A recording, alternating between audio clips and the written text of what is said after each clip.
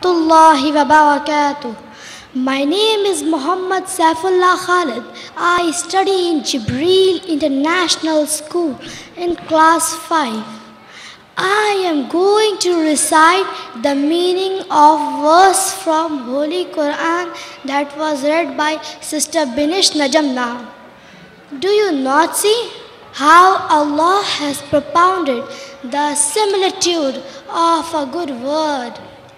It is like a good tree whose roots are firm and whose branches are in the sky, giving its fruits at all seasons by the command of its Lord.